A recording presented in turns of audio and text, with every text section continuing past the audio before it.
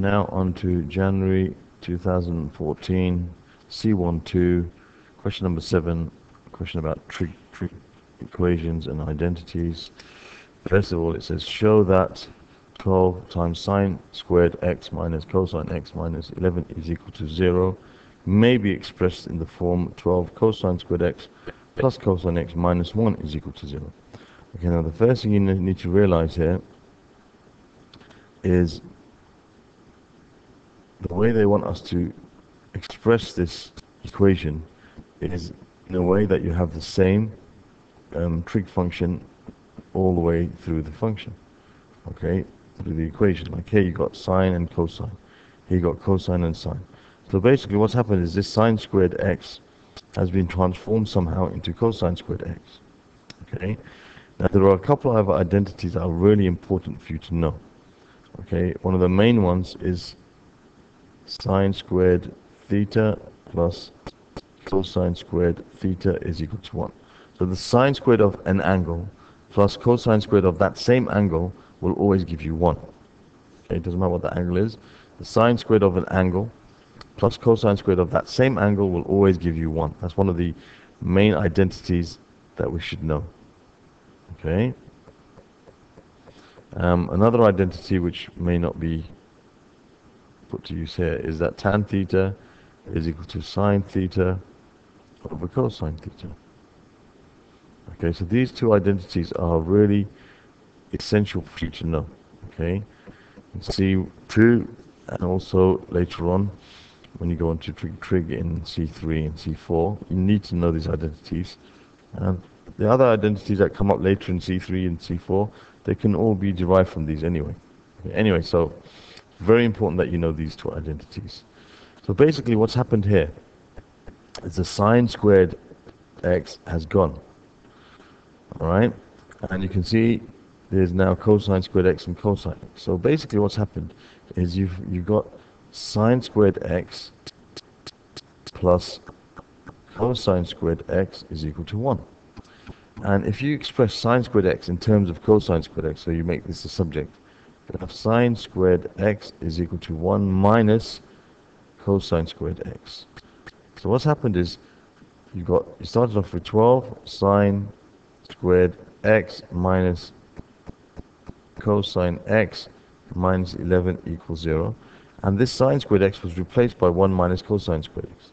So you have 12 times 1 minus cosine squared x minus cosine x minus 11 equals 0. So you got 12 minus 12 cosine squared x. Just multiplying out this bracket. That doesn't look like a 12 there, does it? That's a bit better. Oops. Try and be neater. okay. So 12 minus 12 cosine squared x minus cosine x minus 11 equals 0. And if we simplify this, we got um, minus 12 cosine squared x minus cosine x. 12 minus 11 is plus 1 equals 0 and just multiply throughout by negative 1 to make this positive as they want us to show here. So you're going to multiply throughout by minus 1, so you have 12 cosine squared x plus cosine x minus 1 is equal to 0 and that's exactly what we had to show. See that? 12 cosine squared x plus cosine x minus 1 equals 0. Okay, so the key was to replace the sine squared x with 1 minus cosine squared x. And that's an identity that you won't be given, but you must know it. And you can use that to do this. So even if the question said solve this equation, without telling you to express in this form, you should know that you need to make the, um, the ratios the same. So it's easy to make the one that is squared the same as the other one. So for example, it's, it's easier for me to make sine squared in, in, the, in the form of cosine squared because of this identity. Just replace it with, with 1 minus cosine squared. To make cosine x like sine x, you'll have to use square roots and stuff. It makes things more complicated. Although in this question they told you exactly what to do. All right, they first said express in this form, and then, hence, once you've got this in that form, it says use trigonometry to find all the solutions of the interval between 0 and 360 of this equation, giving each solution in degrees to one decimal place. So we can just now straight away say, okay, this is the same as saying 12 cosine squared x plus cosine x minus 1 equals 0. Now, if you want to solve this equation, um, there's different techniques you can use. One of the um, techniques which is quite useful is to say, all right, let's say y equals cosine x, because I don't want to have to keep writing cosine x all the time, and it also makes it more familiar for us. I can't use x because there's an x already in there, so I'm going to say y equals cosine x. So I can say, okay, this is like, remember now, cosine squared x, it's just actually cosine x squared, that's what it means, but it's written in this form. Okay, so cosine x, cosine squared x means cosine x all squared. So this this actually means 12. If I'm going to replace y with cosine x, then uh, or cosine x with y, then this will be 12y squared plus y minus 1 equals 0. Now I'm going to try to factorize this, okay? To factorize this, you can split the middle term. Okay, find two numbers. When you multiply them, you're going to get um, minus 12, and the difference between them is, is 1. It looks like it's 4 and 3. It's going to be 4 and 3. So 12y squared plus 4y minus 3y minus 1 equals 0. Common factor is 4. So 4y and y plus 1 minus, and you're going to have nothing except for, sorry, that's 3y plus 1. 3 fourths, 4y times 3y is 12y squared, and 4y times 1 is 4y. And here the common factor is, there's nothing common, so I'm going to put minus and then put 1. Okay, minus, minus 1 times what gives me minus 3y? 3y. Minus 1 times what gives me minus 1 plus 1. So now you've got your two factors are 3y plus 1 and 4y minus 1 equals 0. So your solutions are going to be y is equal to minus 1 third and y is equal to positive a quarter. So now we can solve the trig equation. Let's just make some space here. We can solve the trig equation. Remember we said up here, um, let y equals cosine x, right? So we can now replace the y with cosine x. So we can say cosine x equals negative a third, and you can say cosine x equals a quarter, and the limits that we had were for x between uh, 0 and 360. Okay, so we're going to find all the solutions in that range. So that's what we're going to learn how to do now. Okay, there's different techniques and methods of doing this. But basically, what you could understand from this is some ways to make it really easy. First of all, um, when you press shift cosine of minus a third, you're trying to find um, an angle whose cosine ratio is negative one third. And your calculator will give you one particular solution only. Okay, it won't give you all the solutions. It will give you the principal solution. Okay, what's called the principal solution. Uh, we have to make sure it's in degree mode because the question said to give an answer in degrees. so we're going to put shift cosine. That's inverse cosine or arc cosine of negative one third. So negative one third. 1 over 3. Okay, so that gives us 109.471. Okay, so x equals 109.471. That's what's called the principal solution.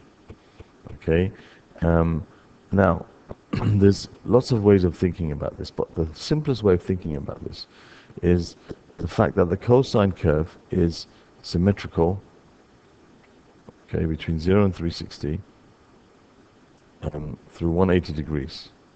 Okay, symmetrical at 180 degrees. Okay. So the angle we got is 109.471, somewhere down there. Okay, because it's symmetrical about 180 degrees, 360 minus that angle will give us the other angle in that range which also shares the same cosine ratio. So if I do 360 minus 109.471, I'll get the other angle that I need. Okay, so I'm going to do 180, 1360 minus the answer.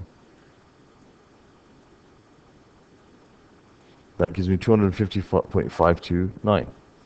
So you have x equals 250 point, was it 529? Point 529, yes. 529. Okay, so that's one solution and that's another solution. And then we can see the cosine curve repeats itself every 360 degrees, repeats itself. So um, that value will have another value which is over there, which matches it. It's in the same position. And that value will have another value over there. Every 360 degrees, it repeats itself. So if I want to find all the other solutions, okay, that have the cosine ratio of negative one third, I have to now just add 360 and subtract 360 from these two values. Now, in so doing, I will not find any solution within our given range, which was x between 0 and 360. Okay, was it the equal sign or not? Yeah. Okay, we won't find any solutions in that range. These are the only two solutions within that range. So we stop there. We got these two two of the solutions. Then we do the same thing for cosine of a quarter. So we say shift cosine of one quarter. As I said, the calculator gives us the value or the angle which is the principal angle. So we're going to just make this shift cosine of this time is positive a quarter. Okay, a positive one.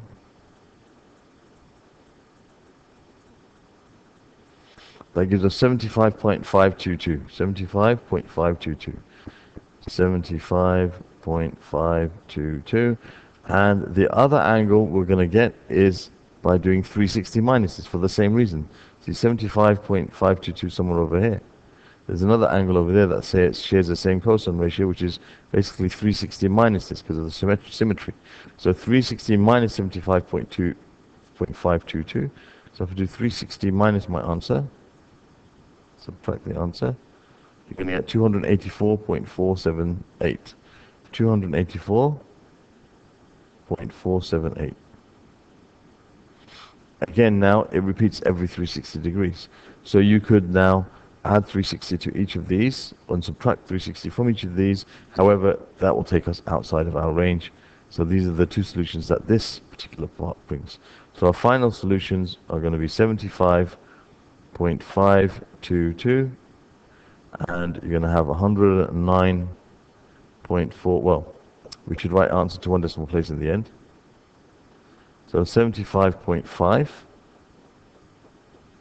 okay degrees and 190 109.5 degrees and 250.5 degrees and 284.5 degrees. All to one decimal place. And those are all the solutions we can get okay? Um, that's using the, the symmetry of the curve all right? So for cosine it's always going to be the shift cosine equals or shift cosine of the ratio equals that will, the calculator will give you one of your solutions and all the other solutions then you'll get another solution by doing 360 minus that. That's for the cosine ratio. And then from there you just add and subtract 360 to find all the other solutions that you might need. And for the sine curve it's symmetrical. The sine curve is symmetrical okay about 90 degrees right? Okay that's 0 that's 180 90 degrees. So 180 minus the angle you get in your calculator when you do shift sine of a ratio. The angle you get 180 minus that will give you the other solution, okay, that you need between you know, in, in, in that range. And then from those two angles you can generate all the other solutions by doing, by adding 360 or subtracting 360 from those angles because it repeats every 360 degrees, just like the cosine curve. Okay, so that's how you can deal with using sine. So with the cosine, you find one angle, um, by your calculator, shift cosine, then you do 360 minus the angle to give you the other angle. And then from those two angles, you can generate any other solutions you might need by adding on subtracting 362 and from them. And with the, the sine curve, shift sine of the ratio equals gives you one of the angles. 180 minus that gives you the other angle. And then from those two angles, you can generate all the other solutions by adding and subtracting 360 because it repeats every 360 degrees. For the tangent curve, however, shift tan equals, that gives you one solution, and all the other solutions are found by adding and subtracting 180 to that angle because the tan curve repeats every 180 degrees. Okay, so we'll see more examples of that as we go through them, but that's basically a quick rundown of how to deal with solving trig equations in a very simple and uh, convenient, fast manner. Thank you for paying attention.